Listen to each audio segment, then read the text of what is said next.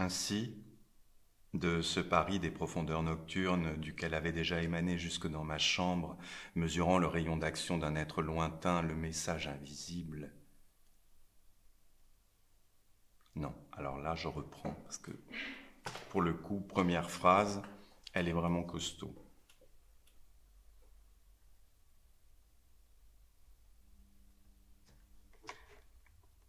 Allez.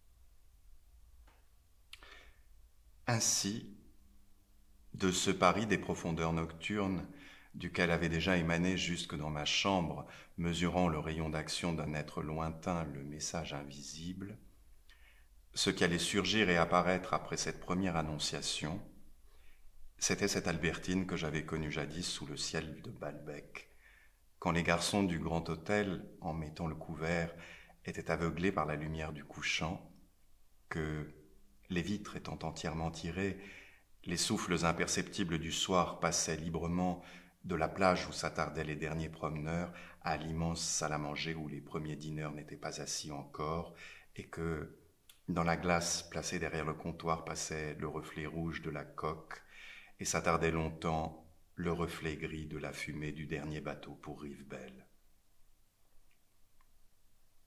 Je ne me demandais plus ce qui avait pu mettre Albertine en retard, et quand Françoise entra dans ma chambre me dire Mademoiselle Albertine est là, si je répondis sans même bouger la tête, ce fut seulement par dissimulation. Comment mademoiselle Albertine vient-elle aussi tard? Mais levant alors les yeux sur Françoise, comme dans une curiosité d'avoir sa réponse qui devait collaborer l'apparente sincérité de ma question, je m'aperçus, avec admiration et fureur, que Capable de rivaliser avec la Berma elle-même dans l'art de faire parler les vêtements inanimés et les traits du visage, Françoise avait su faire la leçon à son corsage, à ses cheveux, dont les plus blancs avaient été ramenés à la surface, exhibés comme un extrait de naissance, à son cou, courbé par la fatigue et l'obéissance. Il la plaignait d'avoir été tirée du sommeil et de la moiteur du lit au milieu de la nuit, à son âge, obligée de se vêtir quatre à quatre au risque de prendre une fluxion de poitrine. Aussi, craignant d'avoir eu l'air de m'excuser de l'avenue tardive d'Albertine, en tout cas je suis bien content qu'elle soit venue, tout est pour le mieux, et je laissai éclater ma joie profonde. Elle ne demeura pas longtemps sans mélange quand j'eus entendu la réponse de Françoise. Celle-ci, sans proférer aucune plainte, ayant même l'air d'étouffer de son mieux une toux irrésistible, et croisant seulement sur elle son châle comme si elle avait froid, commença par me raconter tout ce qu'elle avait dit à Albertine, n'ayant pas manqué de lui demander des nouvelles de sa tante. Justement, j'y disais, monsieur devait avoir crainte que mademoiselle ne vienne plus, parce que ce n'est pas une heure pour venir, c'est bientôt le matin. Mais elle devait être dans des endroits qu'elle s'amusait bien, car elle ne m'a pas seulement dit qu'elle était contrariée d'avoir fait attendre monsieur. Elle m'a répondu d'un air de se fiche du monde, mieux vaut tard que jamais. Et Françoise ajouta ces mots qui me percèrent le cœur.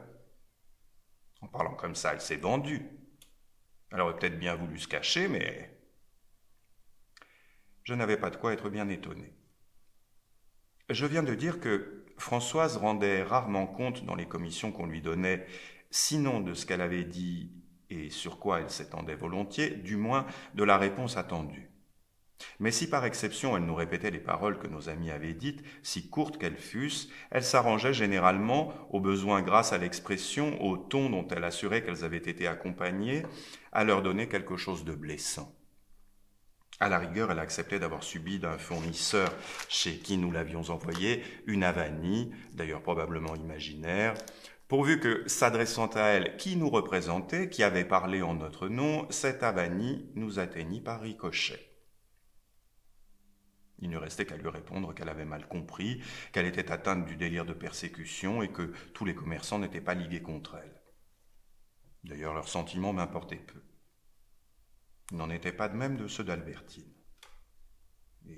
En me redisant ces mots ironiques, mieux vaut tard que jamais, Françoise m'évoqua aussitôt les amis dans la société desquels Albertine avait fini sa soirée, si plaisante donc, plus que dans la mienne.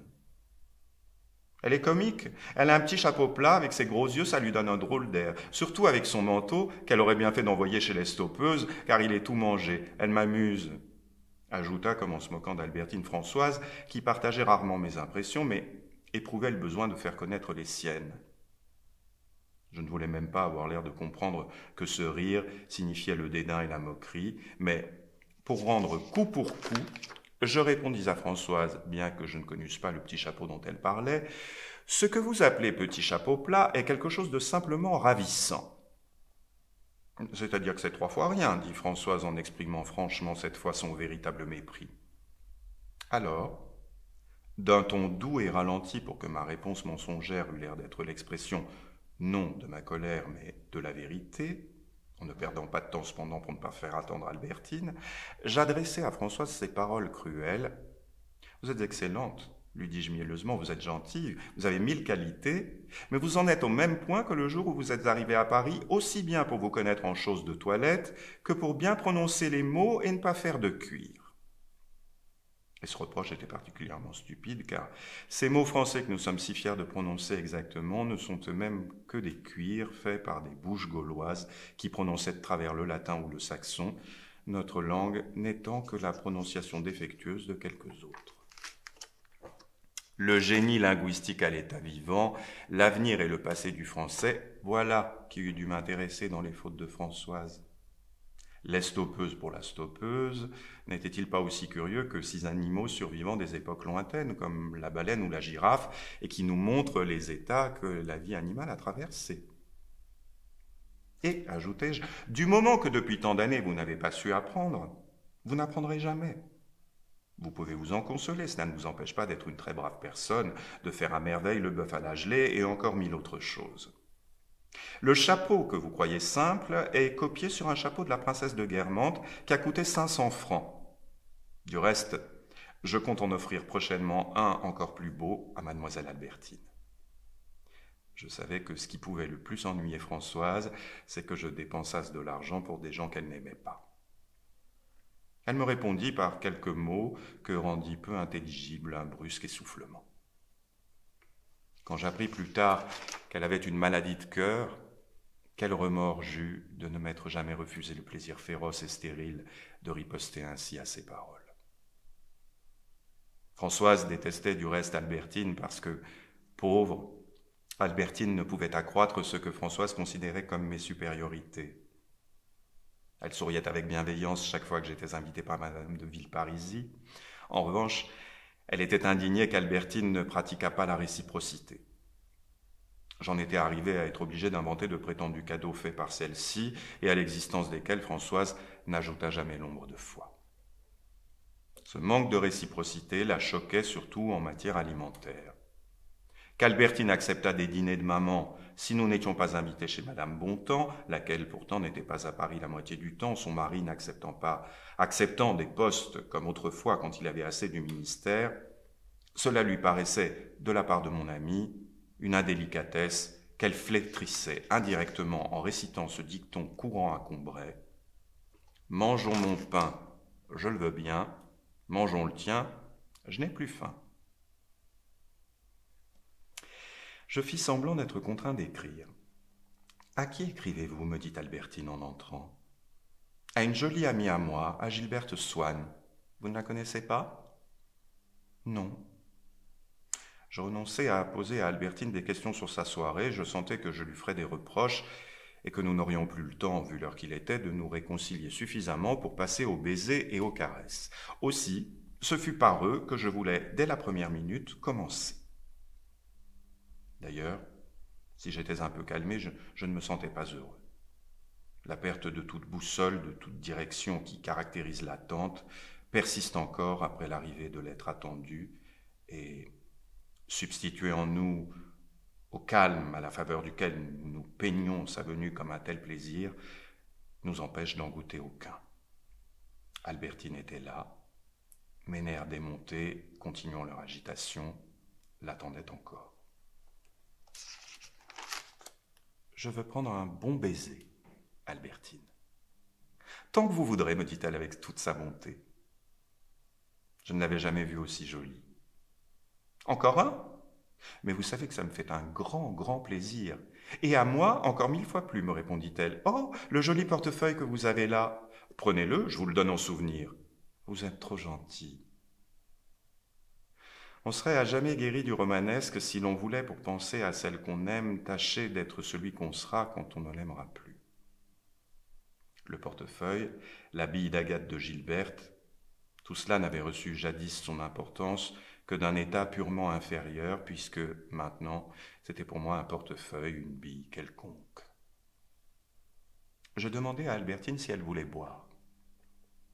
Il me semble que je vois là des oranges et de l'eau, me dit-elle, ce serait parfait. Je pus goûter ainsi, avec ses baisers, cette fraîcheur qui me paraissait supérieure à eux chez la princesse de Guermantes. Et l'orange pressée dans l'eau semblait me livrer, au fur et à mesure que je buvais, la vie secrète de son mûrissement, son action heureuse contre certains états de ce corps humain qui appartient à un règne si différent, son impuissance à le faire vivre, mais en revanche les jeux d'arrosage par où elle pouvait lui être favorable, sans mystère dévoilé par le fruit à ma sensation, nullement à mon intelligence. Albertine partit. Je me rappelais que j'avais promis à Swann d'écrire à Gilberte, et je trouvais plus gentil de le faire tout de suite. Ce fut sans émotion et comme mettant la dernière ligne à un ennuyeux devoir de classe que je traçai sur l'enveloppe le nom de Gilberte Swann, dont je couvrais jadis mes cahiers pour me donner l'illusion de correspondre avec elle. C'est que si autrefois ce nom-là, c'était moi qui l'écrivais, maintenant, la tâche en avait été dévolue par l'habitude à l'un de ces nombreux secrétaires qu'elle s'adjoint. Celui-là pouvait écrire le nom de Gilberte avec d'autant plus de calme que, placé récemment chez moi par l'habitude, récemment entré à mon service, il n'avait pas connu Gilberte et savait seulement sans mettre aucune réalité sous ses mots, parce qu'il m'avait entendu parler d'elle, que c'était une jeune fille de laquelle j'avais été amoureux. Je ne pouvais l'accuser de sécheresse. L'être que j'étais maintenant vis-à-vis d'elle était le témoin le mieux choisi pour comprendre ce qu'elle-même avait été. Le portefeuille, la bille d'Agathe étaient simplement redevenus pour moi, à l'égard d'Albertine, ce qu'ils avaient été pour Gilberte, ce qu'ils eussent été pour tout être qui n'eût pas fait jouer sur eux le reflet d'une flamme intérieure. Mais maintenant, un nouveau trouble était en moi qui altérait à son tour la puissance véritable des choses et des mots. Et comme Albertine me disait pour me remercier encore J'aime tant les turquoises, je lui répondis Ne laissez pas mourir celle-là. Leur confiant ainsi comme à des pierres l'avenir de notre amitié qui, pourtant, n'était pas plus capable d'inspirer un sentiment à Albertine qu'il ne l'avait été de conserver celui qui m'unissait autrefois à Gilberte. Il se produisit à cette époque un phénomène qui ne mérite d'être mentionné que parce qu'il se retrouve à toutes les périodes importantes de l'histoire. Au moment même où j'écrivais à Gilberte, Monsieur de Guermantes, à peine rentré de la redoute, encore coiffé de son casque, songeait que le lendemain il serait bien forcé d'être officiellement en deuil, et décida d'avancer de huit jours la cure d'eau qu'il devait faire. Quand il en revint trois semaines après, et pour anticiper, puisque je viens seulement de finir ma lettre à Gilberte, les amis du duc, qui l'avaient vu, si indifférent au début, devenir un anti-Dreyfusard forcené, restèrent muets de surprise en l'entendant comme si la cure n'avait pas agi seulement sur la vessie, leur répondre Eh bien, le procès sera révisé et il sera acquitté. On ne peut pas condamner un homme contre lequel il n'y a rien. Avez-vous jamais vu un gaga comme Fauberville, un officier préparant les Français à la boucherie pour dire la guerre? Étrange époque. Or, dans l'intervalle, le duc de Guermantes avait connu aux eaux trois charmantes dames, une princesse italienne et ses deux belles-sœurs. En les entendant dire quelques mots sur les livres qu'elle lisait, sur une pièce qu'on jouait au casino, le duc avait tout de suite compris qu'il avait affaire à des femmes d'une intellectualité supérieure et avec lesquelles, comme il le disait, il n'était pas de force. Il n'en avait été que plus heureux d'être invité à jouer au bridge par la princesse. Mais à peine arrivé chez elle, comme il lui disait dans la ferveur de son anti-Dreyfusisme sans nuance, eh bien, on ne nous parle plus de la révision du fameux Dreyfus. Sa stupéfaction avait été grande d'entendre la princesse et ses belles-sœurs dire On n'en a jamais été si près, on ne peut pas retenir au bagne quelqu'un qui n'a rien fait. Ah Ah avait d'abord balbutié le duc comme à la découverte d'un sobriquet bizarre qui eût été en usage dans cette maison pour tourner en ridicule quelqu'un qu'il avait cru jusque-là intelligent. Mais au bout de quelques jours, comme par lâcheté et esprit d'imitation, on crie Hé là, Jojotte sans savoir pourquoi, à un grand artiste qu'on entend appeler ainsi dans cette maison, le duc, encore tout gêné par la coutume nouvelle, disait cependant, en effet, s'il n'y a rien contre lui, les trois charmantes dames trouvaient qu'il n'allait pas assez vite et le rudoyaient un peu, mais au fond, personne d'intelligent n'a pu croire qu'il y eût rien. Chaque fois qu'un fait écrasant contre Dreyfus se produisait et que le duc, croyant que cela allait convertir les trois dames charmantes, venait le leur annoncer, elles riaient beaucoup et n'avaient pas de peine, avec une grande finesse de dialectique, à lui montrer que l'argument était sans valeur et tout à fait ridicule. Le duc était rentré à Paris, Dreyfusard enragé. Et certes, nous ne prétendons pas que les trois dames charmantes ne fussent pas, dans ce cas-là, messagères de vérité, mais il est à remarquer que tous les dix ans, quand on a laissé un homme rempli d'une conviction véritable, il arrive qu'un couple intelligent ou une seule dame charmante entre dans sa société et qu'au bout de quelques mois, on l'amène à des opinions contraires. Et sur ce point, il y a beaucoup de pays qui se comportent comme l'homme sincère, beaucoup de pays qu'on a laissés remplis de haine pour un peuple et qui, six mois après, ont changé de sentiment et renversé leurs alliances. Je ne vis plus de quelque temps Albertine, mais continuais, à défaut de Madame de Guermantes qui ne parlait plus à mon imagination, à voir d'autres faits et leurs demeures aussi inséparables d'elle que du mollusque qui la fabriqua et s'en abrite, la valve de nacre ou d'émail ou la tourelle à créneaux de son coquillage. Je n'aurais pas su classer ces dames, la difficulté du problème étant aussi insignifiante et impossible, non seulement à résoudre, mais à poser. Avant la dame, il fallait aborder le féerique hôtel. Or, l'une recevait toujours après déjeuner les mois d'été. Même avant d'arriver chez elle, il avait fallu faire baisser la capote du fiacre, tant tapait dur le soleil dont le souvenir, sans que je m'en rendisse compte, allait entrer dans l'impression totale. Je croyais seulement aller au cours la reine. En réalité, avant d'être arrivé dans la réunion dont un homme pratique se fut peut-être moqué, j'avais comme dans un voyage à travers l'Italie, un éblouissement, des délices dont l'hôtel ne serait plus séparé dans ma mémoire. De plus, à cause de la chaleur de la maison et de l'heure, la dame avait clos hermétiquement les volets dans les vastes salons rectangulaires du rez-de-chaussée où elle recevait. Je reconnaissais mal d'abord la maîtresse de maison et ses visiteurs, même la duchesse de Guermantes, qui, de savoir que me demandait de venir s'asseoir auprès d'elle dans un fauteuil de Beauvais représentant l'enlèvement d'Europe. Puis, je distinguais sur les murs les vastes tapisseries du XVIIIe siècle représentant des vaisseaux aux mâts fleuris de roses trémières, au-dessous desquels je me trouvais comme dans le palais, non de la Seine, mais de Neptune, au bord du fleuve Océan, où la duchesse de Guermantes devenait comme une divinité des eaux. Je n'en finirais pas si j'énumérais tous les salons différents de celui-là.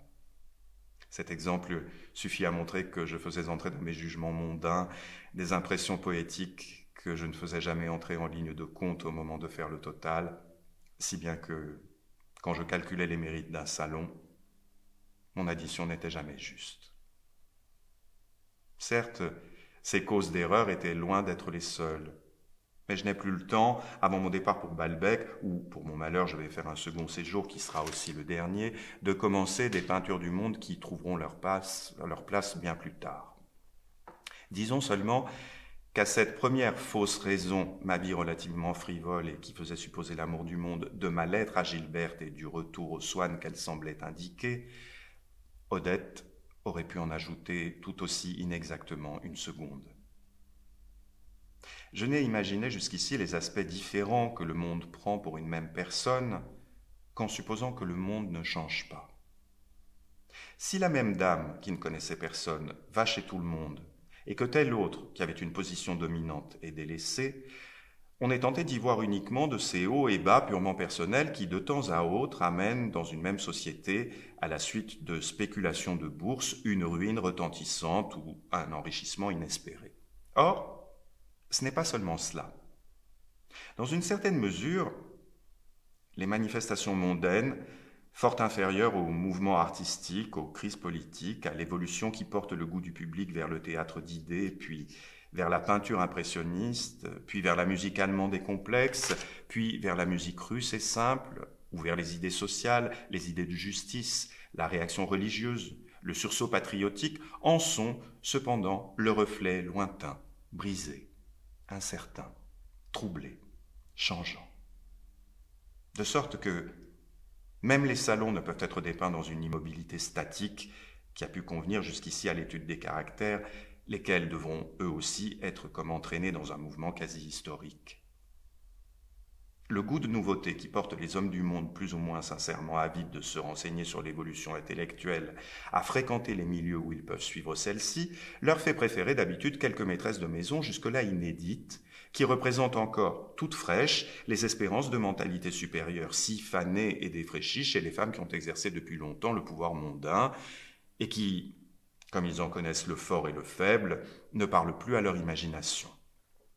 Et chaque époque se trouve ainsi personnifiée dans des femmes nouvelles, dans un nouveau groupe de femmes qui, rattachées étroitement à ce qui pique à ce moment-là les curiosités les plus neuves, semblent, dans leur toilette, apparaître seulement à ce moment-là comme une espèce inconnue, née du dernier déluge, beautés irrésistibles de chaque nouveau consulat, de chaque nouveau directoire.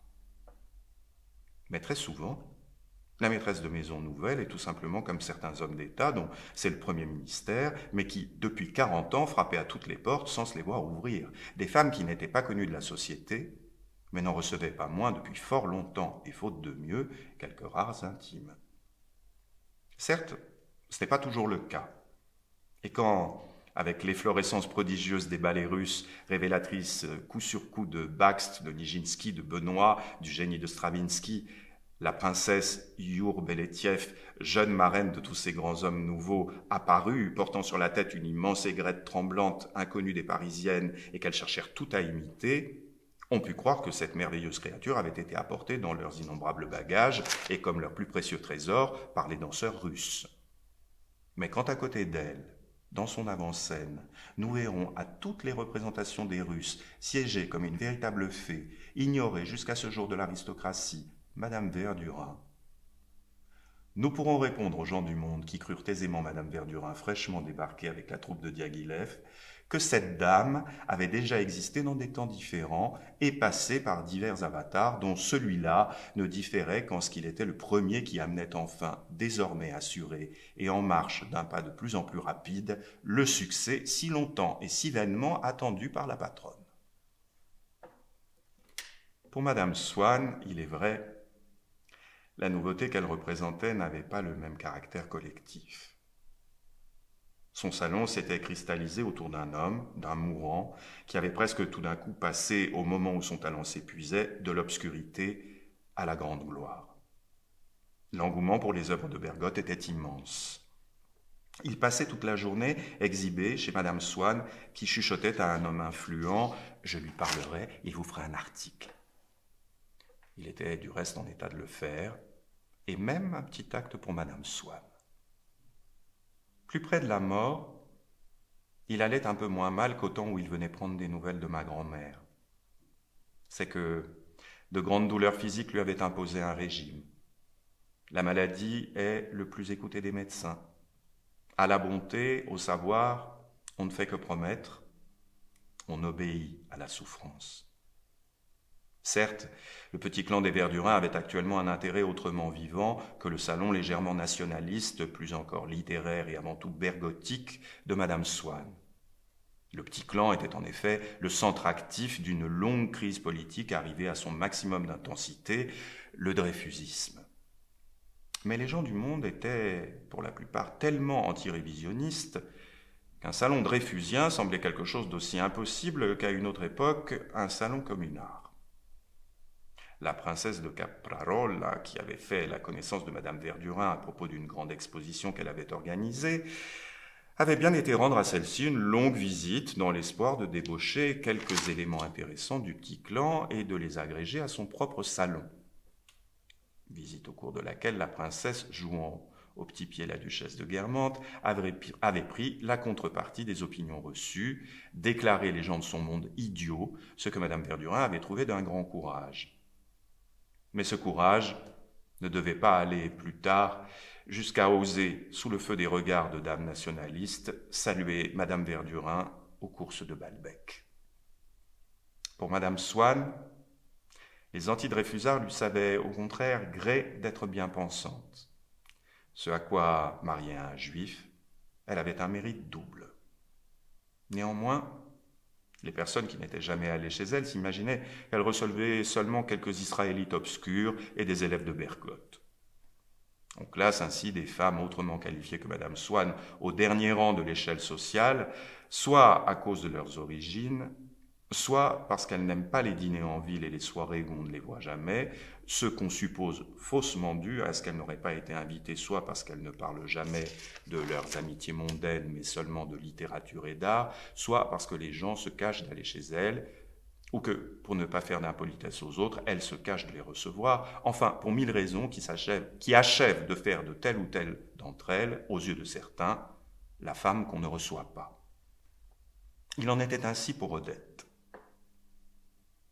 Madame d'Épinois, à l'occasion d'un versement qu'elle désirait pour la patrie française, ayant eu à aller la voir comme elle serait entrée chez sa mercière, convaincue d'ailleurs qu'elle ne trouverait que des visages non pas même méprisés mais inconnus, resta clouée sur la place quand la porte s'ouvrit, non sur le salon qu'elle supposait, mais sur une salle magique où, comme grâce à un changement à vue dans une féerie, elle reconnut dans des figurantes éblouissantes à demi étendues sur des divans, assises sur des fauteuils, appelant la maîtresse de maison par son petit nom, les altesses les duchesses qu'elle-même, la princesse d'Épinois, avait grand-peine à attirer chez elle, et auxquelles, en ce moment, sous les yeux bienveillants d'Odette, le marquis de Laux, le comte Louis de Turenne, le prince Borghese, le duc d'Estrée, portant l'orangeade et les petits fours, servaient de panetier et des chansons princesse d'Épinois, comme elle mettait sans s'en rendre compte la qualité mondaine à l'intérieur des êtres, fut obligée de désincarner Madame Swann et de la réincarner en une femme élégante. L'ignorance de la vie réelle que mènent les femmes qui ne l'exposent pas dans les journaux tend ainsi sur certaines situations et contribue par là à diversifier les salons un voile de mystère. Pour Odette, au commencement, Quelques hommes de la plus haute société, curieux de connaître Bergotte, avaient été dîner chez elle dans l'intimité. Elle avait eu le tact récemment acquis de n'en pas faire étalage. Il trouvait là souvenir peut-être du petit noyau dont Odette avait gardé depuis le schisme les traditions, le coup vermi, etc. Odette les emmenait avec Bergotte, que cela achevait d'ailleurs de tuer, aux premières intéressantes, ils parlèrent d'elle à quelques femmes de leur monde capables de s'intéresser à tant de nouveautés. Elles étaient persuadées qu'Odette intime de Bergotte avait plus ou moins collaboré à ses œuvres et la croyaient mille fois plus intelligente que les femmes les plus remarquables du faubourg, pour la même raison qu'elles mettaient tout leur espoir politique en certains républicains bon teint comme M. Doumer et M. Deschanel, tandis qu'elles voyaient la France aux abîmes si elle était confiée au personnel monarchiste qu'elle recevait à dîner, aux charrettes, aux Doudaville, etc. Ce changement de la situation d'Odette s'accomplissait de sa part avec une discrétion qui la rendait plus sûre et plus rapide, mais ne la laissait nullement soupçonner du public enclin à s'en remettre aux chroniques du Gaulois des progrès ou de la décadence d'un salon, de sorte qu'un jour, à une répétition générale d'une pièce de Bergotte donnée dans une salle des plus élégantes au bénéfice d'une œuvre de charité, ce fut un vrai coup de théâtre quand on vit dans la loge de face, qui était celle de l'auteur, venir s'asseoir à côté de Madame Swann, Madame de Mersante, et celle qui, par l'effacement progressif de la duchesse de Guermantes rassasiée d'honneur et s'annihilant par moindre effort, était en train de devenir la lionne, la reine du temps, la comtesse Mollet. Quand nous ne nous, doutions pas même qu'elle avait commencé à monter, se dit-on d'Odette, au moment où on vit entrer la comtesse Mollet dans la loge, elle a franchi le dernier échelon. de sorte que Madame Swann pouvait croire que c'était par snobisme que je me rapprochais de sa fille. Odette, malgré ses brillantes amies, n'écouta pas moins la pièce avec une extrême attention, comme si elle eût été là seulement pour l'entendre, de même que jadis elle traversait le bois par hygiène et pour faire de l'exercice. Des hommes, qui étaient jadis moins empressés autour d'elle, vinrent au balcon, dérangeant tout le monde, se suspendre à sa main pour approcher le cercle imposant dont elle était environnée. Elle, avec un sourire plutôt encore d'amabilité que d'ironie, répondait patiemment à leurs questions, affectant plus de calme qu'on aurait cru, et qui était peut-être sincère, cette exhibition n'étant que l'exhibition tardive d'une intimité habituelle et discrètement cachée. Derrière ces trois dames, attirant tous les yeux, était Bergotte, entourée par le prince d'Agrigente, le comte Louis Turenne et le marquis de Breauté. Et il est aisé de comprendre que, pour des hommes qui étaient reçus partout qui ne pouvaient plus attendre une surélévation que de recherche d'originalité, cette démonstration de leur valeur qu'ils croyaient faire en se laissant attirer par une maîtresse de maison réputée de haute intellectualité et auprès de qui ils s'attendaient à rencontrer tous les auteurs dramatiques et tous les romanciers en vogue, était plus excitante et vivante que ces soirées chez la princesse de Guermantes, lesquelles sans aucun programme et attrait nouveau, se succédaient depuis tant d'années plus ou moins pareilles à celles que nous avons si longuement décrites. Dans ce grand monde-là, celui des Guermantes, d'où la curiosité se détournait un peu, les modes intellectuels nouvelles ne s'incarnaient pas en divertissement à leur image, comme en ces bluettes de Bergotte écrites pour Madame Swann, comme en ces véritables séances de salut public si le monde avait pu s'intéresser à l'affaire Dreyfus, où, chez Madame Verdurin, se réunissaient Picard, Clémenceau, Zola, Reinhardt et Laborie. Gilberte servait aussi à la situation de sa mère car un oncle de Swann venait de laisser près de 80 millions à la jeune fille, ce qui faisait que le faubourg Saint-Germain commençait à penser à elle. Le revers de la médaille était que Swann, d'ailleurs mourant, avait des opinions dreyfusistes. Mais cela même ne nuisait pas à sa femme, et même lui rendait service. Cela ne lui nuisait pas parce que on disait il est gâteux, idiot, on ne s'occupe pas de lui. Il n'y a que sa femme qui compte, et elle est charmante. Mais même le dreyfusisme de Swann était utile à Odette. Livrée à elle-même, elle se fut peut-être laissée aller à faire aux femmes chics des avances qui l'eussent perdue. Tandis que les soirs où elle traînait son mari dîner dans le faubourg Saint-Germain, Swann, restant farouchement dans son coin, ne se gênait pas, s'il voyait Odette se faire présenter à quelques dames nationalistes, de dire à haute voix Mais voyons, Odette, vous êtes folle. Je vous prie de rester tranquille. Ce serait une platitude de votre part de vous faire présenter à des antisémites. Je vous le défends. Les gens du monde, après qui chacun court, ne sont habitués ni à tant de fierté, ni à tant de mauvaise éducation. Pour la première fois, ils voyaient quelqu'un qui se croyait plus qu'eux. On se racontait ces grognements de Swann, et les cartes cornées pleuvaient chez Odette. Quand celle-ci était en visite chez Madame d'Arpajon, c'était un vif et sympathique mouvement de curiosité. Ça ne vous a pas ennuyé que je vous l'ai présentée, disait Madame d'Arpajon. Elle est très gentille. C'est Marie de Marsante qui me l'a fait connaître. Mais non, au contraire, il paraît qu'elle est tout ce qu'il y a de plus intelligente, elle est charmante. Je désirais au contraire la rencontrer. Dites-moi donc où elle demeure. Madame d'Arpajon disait à Madame Swann qu'elle s'était beaucoup amusée chez elle l'avant-veille et avait lâché avec joie pour elle Madame de Sainte-Verte. Et c'était vrai. Car préférer Madame Swann, c'était montrer qu'on était intelligent comme d'aller au concert au lieu d'aller à un thé. Mais quand Madame de Sainte-Verte venait chez Madame d'Arpajon en même temps qu'Odette, comme Madame de Sainte-Verte était très snob et que Madame d'Arpajon, tout en la traitant d'assez haut, tenait à ses réceptions, Madame d'Arpajon ne présentait pas Odette pour que Madame de Sainte-Verte ne sût pas qui c'était. La marquise s'imaginait que ce devait être quelque princesse qui sortait très peu pour qu'elle ne l'eût jamais vue, prolongeait sa visite, répondait indirectement à ce que disait Odette, mais Madame d'Arpajon restait de fer. Et quand Madame de Sainte-Verte, euh, vaincue, s'en allait, euh, je ne vous ai pas présenté, disait la maîtresse de maison à Odette, parce qu'on n'aime pas beaucoup aller chez elle et elle invite énormément. Vous n'auriez pas pu vous en dépêtrer. Oh, Cela ne fait rien, disait Odette avec un regret. Mais elle gardait l'idée qu'on n'aimait pas aller chez Madame de Sainte-Verte, ce qui dans une certaine mesure était vrai, et elle en concluait qu'elle avait une situation très supérieure à Madame de Sainte-Verte, bien que celle-ci en eût une très grande, et Odette encore aucune. Elle ne s'en rendait pas compte. Et bien que toutes les amies de Madame de Guermantes fussent liées avec Madame d'Arpajon, quand celle-ci invitait Madame Swann, Odette disait d'un air scrupuleux Je vais chez Madame d'Arpajon, mais vous allez me trouver bien vieux jeu. Cela me choque à cause de Madame de Guermantes, qu'elle ne connaissait pas du reste. Les hommes distingués pensaient que le fait que Madame Swann connût peu de gens du grand monde tenait à ce qu'elle devait être une femme supérieure, probablement une grande musicienne, et que ce serait une espèce de titre extramondain, comme pour un duc d'être docteur et science, que d'aller chez elle. Les femmes complètement nulles étaient attirées vers Odette par une raison contraire.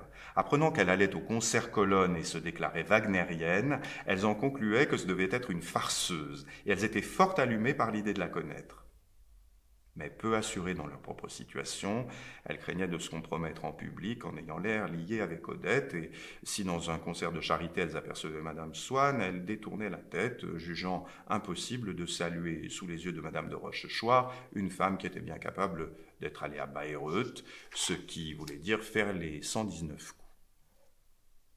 Chaque personne, en visite chez une autre, devenait différente.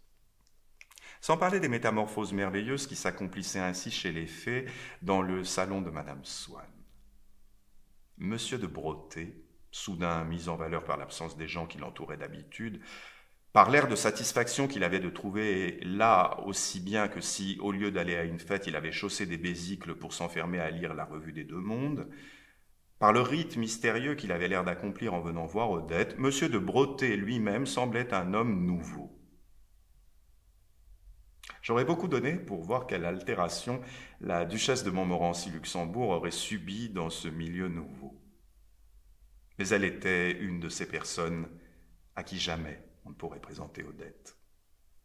Madame de Montmorency, beaucoup plus bienveillante pour Oriane que celle-ci n'était pour elle, m'étonnait beaucoup en me disant à propos de Madame de Guermantes Elle connaît des gens d'esprit, tout le monde l'aime, je crois que si elle avait eu un peu plus d'esprit de suite, elle serait arrivée à se faire un salon.